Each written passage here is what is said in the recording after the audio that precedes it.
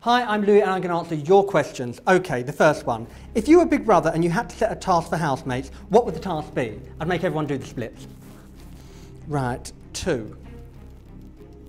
If you could choose five celebrities to be in the house with you, who would you pick? Me, me, me, me, me. Easy.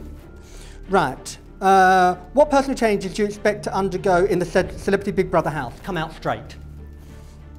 Oh, my thing's not going up now. Oh, it's twisting round.